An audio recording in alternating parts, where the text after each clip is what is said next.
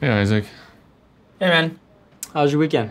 Oh, I guess I'll start with Friday. So I left the office and then the elevator, like key card, wasn't working this time. So I actually talked to the lobby guy and then he sent me down.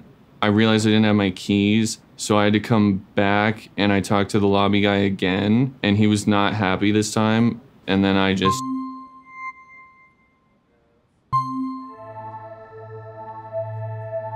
It was pretty good, dude. Thanks for asking.